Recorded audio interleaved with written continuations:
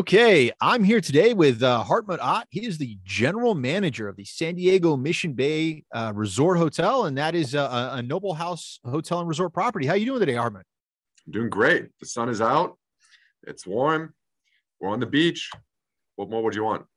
Uh, you know, super jealous. I'm sitting here in Ohio. You are in San Diego. I think everybody understands why I'm jealous about that. So, uh, you know, we'll move right past that. Uh, you know, like I said, it's it's great to have you on the show you know, I think uh, I think to open up with, you know, it's great uh, to, to, tell the listeners you and I have been friends for probably 15 years. Uh, you know, professional and and personal colleagues. So uh, I'm really excited to have you and, and can't wait to get into this conversation.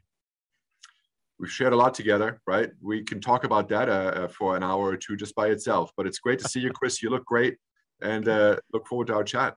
Absolutely. So why don't you tell us a little bit about yourself? You know, your career, how you got where you are right now. You know, it's a long story. I'm going to try to compress it a little bit, but uh, um, my name is an easy, easy giveaway. I was born in Munich, Germany, and uh, raised there for 13 years. And when I was 13 years old, my father came home from a business trip and uh, told the family, I have three siblings, so we all sat around dinner table, and he said, "How would you guys like to move to California?" And I was excited because California to me was vacation country, right? I had friends that traveled to California to go on vacation and they would come back after two or three weeks and they were tanned and they had great pictures. So I was like, let's go. So we moved to California. Uh, after seven years, the family moved back to uh, to Germany. I decided to stay. Uh, my father didn't think that was such a good idea, and and decided, okay, you're on your own. So uh, back then, I played water polo and I swam, and uh, I you know I, I used to be uh, good looking and athletic. today, I'm just good looking but uh, um, those days are over. But uh, the athletic days. So I went to my coach and I said, "Hey, coach, can't come to practice anymore. This is what happened. I need to start making money, and I had to think of where to go." And so I went to the Santa Clara Marriott Hotel, which is a hotel we lived in when we came to California seven years prior. So there was an emotional connection. And I said, I need a job now. What can I do? And so they said, well, why don't you start as a, as a bellman? And so I started as a bellman and I was in front of the door and welcoming guests and, you know, luggage carts and, and walking up to the room, parking cars. And I made so much money. I bought myself a car. I rented an apartment. I'd call my parents and ask them, you know, what are you trying to show me here? This, this life is great. So um, they moved back to Germany. I stayed, uh, went to the front desk um, ended up moving to Seattle and worked for Sheraton back in the day when it was ITT Sheraton. Do you remember that? I do. Yep. Wow. Yep. That gives away a little bit of age, but um, absolutely. Yep. So ITT Sheraton and uh, did well there and uh, had a good time. Was promoted to front desk supervisor, my first promotion. And now I'm thinking, I really like this and I'm good at it because I was just promoted. So I walked into the general manager's office and I said, Hey, one day I want to sit in your chair. What do I need to do to get there? So he says, Aren't you German? I said, Yep, I'm German. He says, Well, why don't you go back to Germany and go to hotel school? And so I said, Well, I, I, I just got done with this with my father. I kind of don't want to, but if it's to my benefit, maybe I should. So he helped me transfer with Sheraton to the Sheraton Frankfurt Airport Hotel, where I went to hotel school for three and a half years. It's actually, excuse me, it's, it's three years. And um, the program is such that you go to school while you work. So it's a 50 50 split. And you travel through each department. So I spent two or three months in every department, and consequently, I've cleaned 18 rooms, you know, five days a week for three months. I know how hard that is. You know, I've stood behind the dish line and I collected out the plates. I lost the feeling in my fingertips. I was afraid I wouldn't get it back. I did. And so, and so, you know, to this day, I feel like one of the greatest foundations of my career was that time because two things. A, I learned what happens in every department and how they all intersect. And two, I learned the joys, but also the pains of every position. So as I walk through this resort every day, I understand the stress factors, but also the joys that everybody goes through. And, and to me personally, I feel like it helps me tremendously in connecting with the team. So after a, a few years uh, in Germany, I tagged on a couple more and, and, you know, front office manager and all this stuff. And in 2003, I returned to the United States and became director of front office at the Highlands Inn, which used to be a Park Hyatt, Carmel, a Park Hyatt in Carmel, California. And um, while there, learned learned uh, uh, you know a lot of stuff. And uh, one day, the director of rooms called me in the office, and the executive housekeeper, and he flip flopped us from one day to the next. You know, that's the moment in your career where you have a leader that affords you an unbelievable chance and believes in you, and really accelerates your growth. So now I'm finding myself in housekeeping, and and Terry, who right? I didn't know what Terry was. You know, I thought it was a person. So I had a crash course in housekeeping. Absolutely. And, um, you know, had a lot of friends over the years. And uh, one day I got a call from a buddy of mine um, from a Ritz Carlton property. And he said, Hartmut, you've always wanted to work for Ritz Carlton, which to me was always the creme de la creme, right? And he says, Ritz Carlton is hard to get into, but there's a property in New Orleans and, and they're looking for director of housekeeping. You know, that's a market where you can slide into Ritz Carlton. So we flew out. We you know saw the property, gorgeous. You know, went down you know Bourbon Street, had a great time doing the interview process. They were so generous. They invited my girlfriend to come down with me, right? And um, was lucky, got offered the job. And uh, while working at the Ritz Carlton, I got to know, uh, uh, you know, my counterpart at the front office, a gentleman by the name of Chris Cano. So right? That's where we met. And uh, absolutely. A couple weeks after being in New Orleans, this hurricane approached, and so um, we were in uh, uh, New Orleans during Hurricane Katrina, and uh, in the hotel for five days together, and shared a lot of stuff there, and have some uh, some memories that will never leave, and will never leave us for our lifetime. Absolutely. And following the storm, um, um, I was then fortunate enough to be placed temporarily at the Ritz Carlton Kapalua and then to San Francisco. And, and then I had some other stints in the private industry and bed and breakfast and um, independent resorts, and eventually joined uh, Starwood in Chicago at the Westin Michigan Avenue. Was there when Marriott bought Starwood, was part of that whole transition from Starwood to Marriott. Uh, very, very interesting, very fortunate. Really got to know Marriott. Uh, was promoted then to general manager at the Marriott Cleveland downtown at Key Tower had three outstanding years in Cleveland. What a great city that is. We had an outstanding time, and I mean that sincerely. And uh, from Cleveland, uh, was promoted to a hotel in Berlin, Germany, um, and spent some time then in Berlin. But we decided sunshine, California, that's home. And so uh, I've known uh, uh, the team here at Noble House Hotels and Resorts for a few years, connected to them, and here I am now in San Diego at this beautiful resort that we call the San Diego Mission Bay Resort.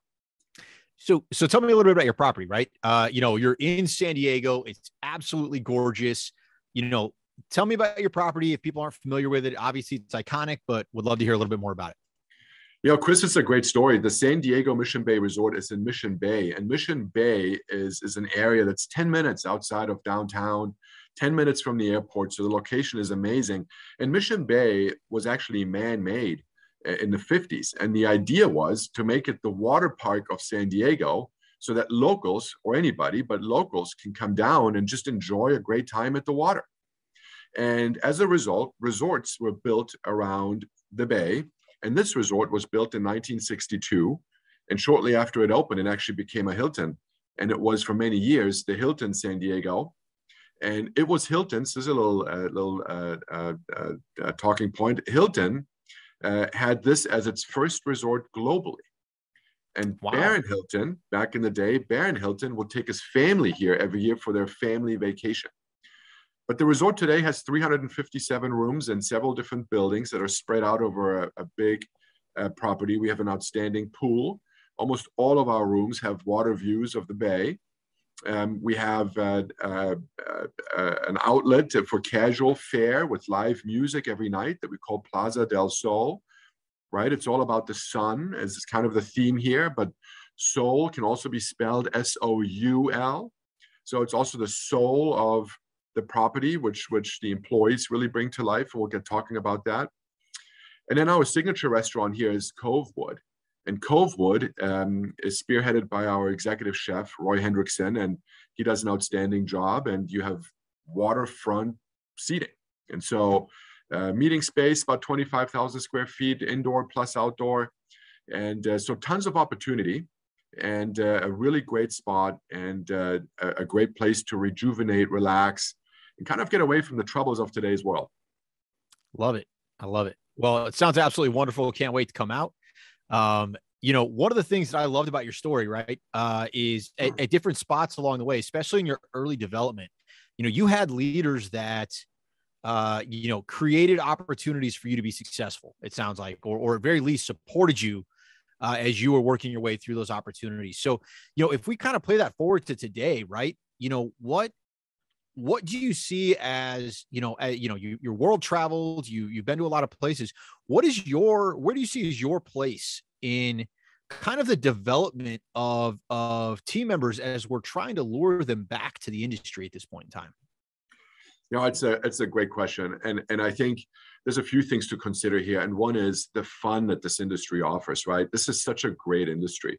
It can take you around the world. You can live in many places. You can meet some really exciting people, right? You can get in touch with some really delicious food in different parts of the world. It has so much to offer. So I think highlighting the fun um, and the opportunity is tremendously important. I, I was in an interview one time and I interviewed for a job, and one of the interview questions was, Hartmut, has anybody ever worked for you that has superseded you? Right. And in my young days of my career, I said, of course not. Right. Nobody grows faster than I do. Right. So I am climbing this career ladder at lightning speed and nobody will outpace me. And you learn over the years as you mature and as you age, and I feel old when I say that, but I'm really not, that one of the greatest joys and rewards is when you can help others achieve their dreams and when you can have others achieve their goals, right? And so mentoring and, and helping folks achieve those goals is the most rewarding thing that I do today. And so, how do we do that? We get in touch with our leaders, we understand what their goals are, and it's all about communication and development and having regular feedback sessions, right? Goes back to the old saying, we've all heard this you should never hear a piece of feedback for the first time in an annual review. Right. So how do you get around that? Right. You have regular communications. So I meet with my key leaders once a week for quick sessions and we connect. Love it. Love it. Love it. So, you know, one of the things that you and I talked about as we were kind of leading up to this conversation, right? Uh, you know, we discussed uh, really how economics have changed, you know, greatly when it comes to hotels, right? You know, one of the things that, you know, you brought up uh, as we were kind of discussing what we would talk about today was, you know, really the fact that, you know, the, the, commodities uh, uh, supply chain issues are really starting to affect the the industry just as businesses starting to really kind of boom back right? So you know you have the you have the ability to impact at, at your property you know a lot of these decisions. What kind of things are you seeing from a a financial perspective or commodity perspective uh, and and how are you dealing with uh, you know how are you dealing with with the constantly changing financial situation that we're in? Yeah you know it's i i i think we don't need to recreate the wheel right? We all know what we need to do in evaluating our profit margins. I think what is changing is that we just need to do it more frequently because the cost structure of today's world is changing. You know you could feel like on a daily basis so right now we're dealing with oil prices increasing and and the activities in Europe and how that might affect uh, uh, uh, you know different price structures. So I think the biggest key for us is keeping an eye on it on a regular basis. So we evaluate um, our our menu, for example, in the restaurant, right?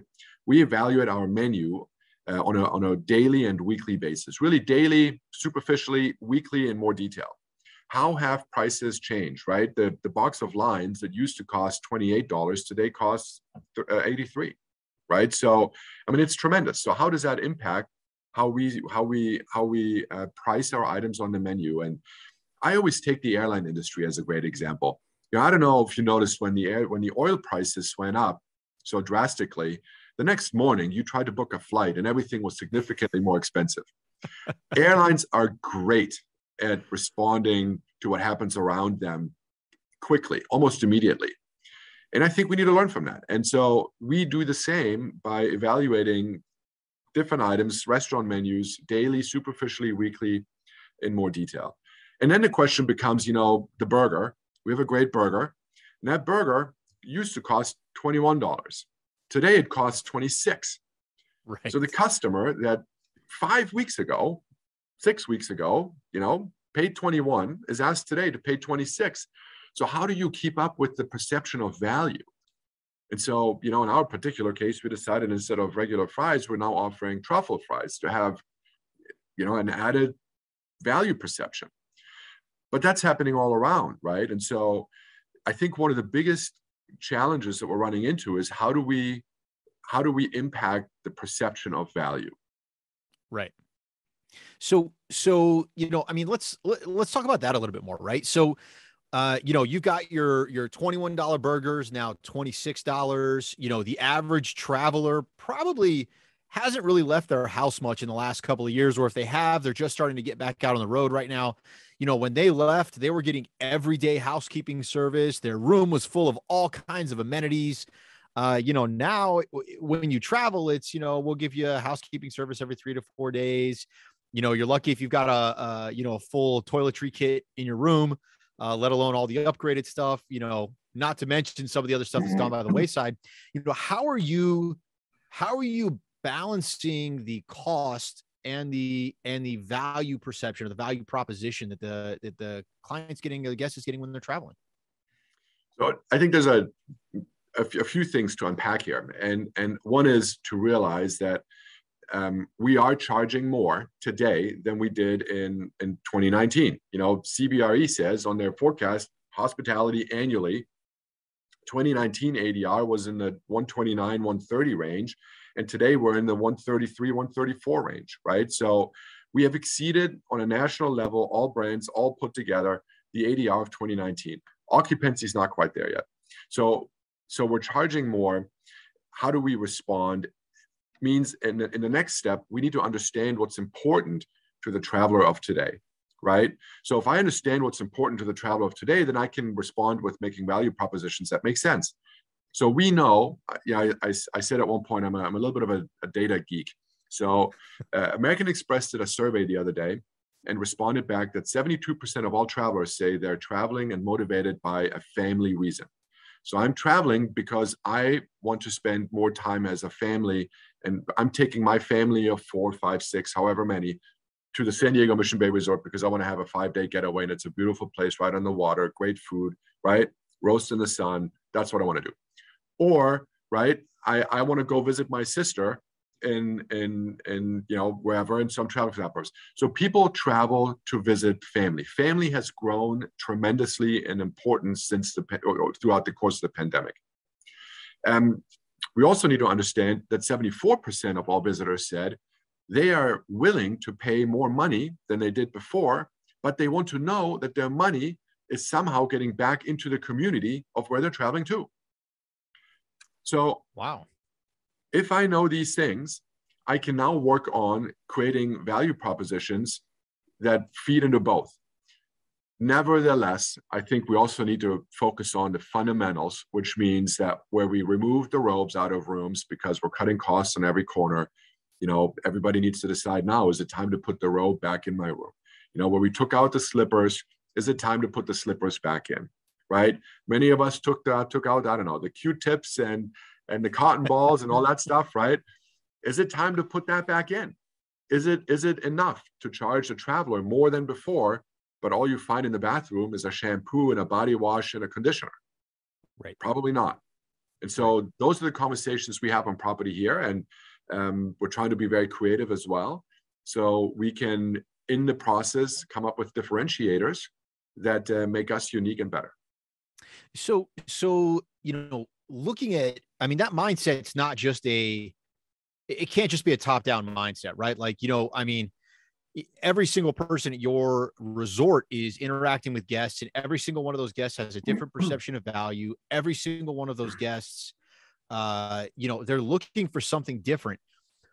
Walk me through how you're going through with your leaders or with your team. You know how are you building this this this value, this perception of value engine on your property to make sure people are getting the value, you know, at every level possible? You know, this is a topic of conversation on property. So we talk about this in meetings and, and we alert everybody to the significance of understanding this piece. And at the end of the day, I can only understand it through communication. So two means of communication with our guest. One is the general guest satisfaction survey after your stay. And we review that on a, on a regular basis, right? So we look at it and we get great feedback, especially um, in, in the commentary on it. So the, the, the, the numbers survey is limited, but you, you learn a lot through what guests write in their comments. But the other, nothing beats face-to-face communication. So our leaders um, engage with guests as much as possible. Um, our our team members do the same, and especially at checkout. Even though not everybody comes to checkout, but uh, one of the, you know, we we learned a lot at Ritz Carlton, and and at Ritz Carlton we always talk about the fond farewell, right? And the fond farewell always included a, an invitation to return. And so we thank our guests for being guests. We want to find out how their experience was. And then we always invite them back. And so we engage all employees in that, but especially on the leadership level, to, to speak with our guests and thank them for dining with us, thank them for staying with us, and in the process, find out how they enjoyed their experience. Okay, so you know, I I think about your, you know, your origin story, right? The hustling bellman, the uh, you know, the, the the guy who's working in every single department. You know, what uh, you know, what does it look like as a leader trying to get the entrepreneurial spirit out of the line level? Because you know, you know as well as I do, as a leader, you're just supporting the team doing the job, right? You know they're the ones that are actually providing the results. They, they go out into the field. So what are you doing to kind of suck that entrepreneurial spirit you know uh, uh, up to the surface and then and then really make it happen for the guest you know I, I think the the one of the keys in having a, a really great team is to have a team that identifies with their place of work right? The the the sense of purpose and an identity and belonging is an unbelievable key. So in this resort here, we have about 300 employees totaling 2,875 years of service. The average length of service is 12 years. Now, with the pandemic, many of the employees that have been here for 20, 30 years have retired. So pre-pandemic, those numbers were even greater. So what does that mean? That means that a lot of the employees have worked here for 30, 40 years. Jeffrey uh, works, is our bellman, our lead bellman here. He's been greeting and welcoming our guests at this resort for 33 years. And I have stories like this in this resort all over the place. The team here looks at this resort not necessarily as the San Diego Mission Bay Resort, it could say Hilton, it could say Marriott, it could say anything. This is their resort. And so what happens is I walk through this resort every day and I have team members yesterday that came up. I mean, this is incredible to me. They came up and said, Hartmut, you know, that uh, uh, banquet court over here, there's really stuff in there that's been in there for a long, long time. It has no business being in there. Can't we just get that cleaned up?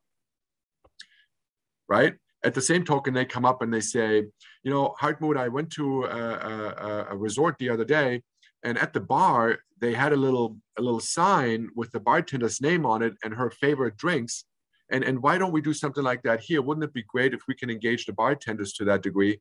And, and now, if Nicole is working the bar, I have a little sign that says Nicole's favorite drinks are, you know, the mojito and, and the margarita, whatever it may be. And and you know, now you come to my bar and you sit down at it and you say, "Oh, what's what's this? And who's Nicole?" And then Nicole says, "Well, I'm Nicole, and those are my favorite drinks, and let me tell you all about them." So the creativity comes from within and it stems in this case from great tenure and great sense of belonging. And and so to be honest with you it's a beautiful thing. I've not seen it in any other resort. And then i might add that our our guest satisfaction scores reflect that. The guest is very happy because they sense this right? I had a gm once that says the guest is a human lie detector. the guest picks up on the vibe of a property. And our guests are telling here that they're very pleased, and it all stems from the team and the pride and the creativity they, they surface. So, you know, one of the things that, and, and, you know, piggybacking on what you just said here, right? You know, one of the things that people talk about all the time now is retention, right? Is, yeah. You know, if we can get somebody through the door, you know, I put out a feeler, five people reply, two people show up, one of them hopefully gets hired and shows up for the first day of work. You know, how do I keep that person? It sounds like, it sounds like your team is built almost an ecosystem where, uh, you know, as long as you buy in, retention is there. So, you know, what kind of things are you seeing on a regular basis that really drive that retention or really drive people's desire to want to stay? Because I, I think it's different now than it was before. And, and I think it's different kind of for everybody. Well, yeah, you know, it's, it is different. Uh, uh, going back to my uh, data geekness, uh, you know, Gallup calls it the great resignation the last two years, the pandemic, right? In the summer of 2021, 48% uh, according to Gallup, 48% of all employees were open to hearing something new. 48%, that's half the workforce, right? So um, how do you how do you keep people engaged? How do you keep them around? Um, you know, it's and, and then you look at who who works who works who's the future leader and who's who's the workforce of tomorrow and so we're really addressing millennials right gen z's and and so so gallup says what's important to millennials and Gen Z is well being, number one priority. So, understanding what well being means to the future leader and the future workforce that we're hiring today, right? That's already here is really tremendous. And so, I often look at, you know, I admire having been raised in Silicon Valley, and I had a father that worked on a campus. You know, this was in the 90s already, but you know now you look at google and apple headquarters i mean these are little villages right if i work at apple at, at the at the headquarter uh, uh, building if i want to go shopping go for it right and, and, there's there's nothing that you can't do right. and so i always feel like what can we offer in our hotels that is on a level that you know we can never get there but but along those lines right. so you know, listen, we have a hard time here with uh, with housekeepers. We're, we do not have enough housekeepers. But I'm super lucky with the team we have. So they buy rooms every day. They they do whatever it needs to be done. But then, geez, I might not have enough time to go shopping.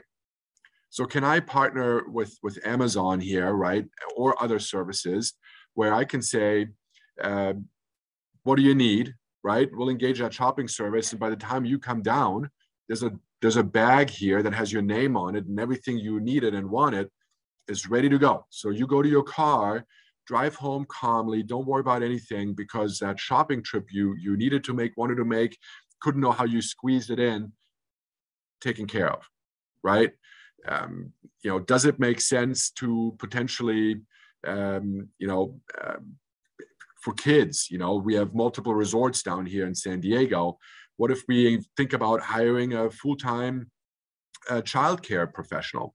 And so, you know, drop off your kid on the way to work. They'll be safe at the San Diego Mission Bay Resort for employees. And at the end of the day, whenever it might be over, right, go pick them up. And so, um, those are the thoughts that we have. So we can offer services besides the normal, right? Great food in the cafeteria, plenty right. of uniforms, right? All that stuff, that's a given you eh, you can't think about that. If you're thinking about that, you're behind. Right. You've already missed the boat. So so you said it, not me. But so but yeah, I mean if that's what we're thinking about, you know, we're missing the boat here. So we're trying to see how we can offer and again make us better and have differentiators that the competition, you know, may not have yet. So I'm going to stop it there and not reveal too many of what we're thinking about. well, I tell you what, I think that, you know, between you know understanding margins and understanding uh, you know how to really how to flex with with the changing economic conditions you know with understanding how that impacts the the guest overall perception and and you know what your team needs to do to be able to to deliver on that perception you know regardless of what you have to do financially you know then and, and of course you know just making sure that you have the team around to be able to execute on that. I mean it sounds like you guys are firing on all cylinders there uh, you know, that's absolutely awesome. And, uh, I really appreciate you sharing, you know, some of that stuff. Uh, you know, the grocery shopping thing, man, let me tell you, I just got goosebumps on that because that's a phenomenal idea. Uh, hope everybody, hope everybody pulls that one out and takes that one. Um, and it's, but, it exists. It's not hard, Chris. This yeah. service exists. Just use the app, right? We all do it for ourselves. Yeah. I mean, everybody does it for themselves. I, I, to be able to offer that for the, uh, the associates, that's absolutely if people aren't doing that right now, they they got to stop what they're doing, write that down, and go go make that happen. Um, so so you know, I always like wrapping up uh, with with thinking about the next generation, right? And it sounds like you're doing that a lot where you are right now. But if if somebody comes to you and you know they're looking to be a leader and they're looking for a piece of advice, what kind of advice are you giving those those new or first time leaders? Yeah, you know that's that's a that's a great question. And I go back to what I said in the beginning. I think one of my greatest foundations is understanding the different aspects and departments and disciplines within the hotel. So I would I would tell somebody get into a hotel, enjoy the ride for a few years, two or three years, four years, right? Uh, and and and travel from food and beverage, go to rooms, right? Maybe get into finance if you love numbers. We're business leaders, so understanding finance is absolute key. So spending some time in finance and not just understanding the P&L, but uh, uh, also understanding the, um, you know, now I'm drawing a blank, which is embarrassing, but the balance sheet, right? Absolutely. So the balance sheet is, is, is absolute key. So spending time there, you know, uh, and, and just kind of traveling around through the different disciplines, selling, right? Selling has never been more important and and the sales process today is vastly different than it used to be and understanding how we present ourselves out. So take time traveling through these departments and capturing that information because the more you know my opinion the the more accelerated your growth can be. And so allow for that time. And and i think we live in a world where we all want you know it's, it's apps and it's now and you know it can't happen fast enough. And i think every now and then it's important to kind of slow ourselves down. So you, you cannot manage something that you have not experienced in great detail yourself because at the end of the day you're managing people. And you have to know what these people experience what they feel what their joys are but also what their hardships are. So take that time. I think you know the higher you end up growing the, the career to me, it's it's the absurdity of I think also the society that we live in. But we as leaders look great, right? Because our scores, our guest satisfaction scores are high, the financials are fantastic, you know. But who makes this happen? It makes the, the, the folks that are facing the guest, right? I always I don't like the term hourly employee, but we're all one team, right? But at the end of the day, the reason we look great as leaders, whether you're a front office manager or a general manager, uh, it doesn't matter, is because of the team members that make it work every day. And so, valuing and appreciating the people at the front that face guests, which is a demanding job, and we all know it. It's a rewarding job, but it's a demanding job. I think valuing uh, and showing appreciation for them is absolute key. And so, you know, yesterday, I'll tell you, yesterday, San Diego put on a Gold Key Award. It's, you know, local uh, organization and a big uh, gala, 400 attendees, you know, all hotels and, and present. And, and we had nine team members, and I could have had 30 or 40, but we took nine team members that we donated, uh, nominated. And I took them to have a nice evening together. They were our nominees. You know, perhaps they could have won on the big stage but just having that appreciation is amazing. And um, so appreciating the people that make it happen is the second piece of advice that would give everybody along the way. Oh, that's outstanding. Well, you know, I think that you know you're doing a phenomenal job there. Obviously, you have an amazing resort. Uh, you know, it sounds like things are really firing on all cylinders. Um, you know, I really appreciate you sharing with us. Uh, I hope that everybody takes the opportunity to come out and visit you. So if they want to find out more about your property, how are they going to do that? You know, how do they how do they find your hotel? Chris, there's a thing called the internet. Ah, and, uh, yeah, yeah, yeah. And uh, missionbayresort.com, right? So you want to look us up at missionbayresort.com and uh, find us in San Diego. We'd love to welcome everybody. I got to tell you, you know, I'm I'm very lucky. I, I'm I'm I'm uh, a working vacation, or what do they call it? You know, I, I work in a place that is like a is a vacation getaway. Absolutely. So I'd love to share it with everybody. And you can find me on LinkedIn. So anybody that's uh, uh looking to connect uh, with me, uh, I, I, love connections and and continue the chatter individually or as a group uh, on LinkedIn. Uh, Hartmut Ott is the name, which isn't the easiest, but I'm sure it'll be in, in some post. Absolutely. Well, that's awesome, Hartmut. It is great seeing you. Uh, you know, I can't wait to get out and see you in person, and uh, it has been way too long. So, uh, with that being said, thank you for your time today. I really appreciate it, and uh, I look forward to connecting again in the future. Same, Chris. Great chat. Say hi to the family. I will, man. Have a good one. All right. Take care. All right.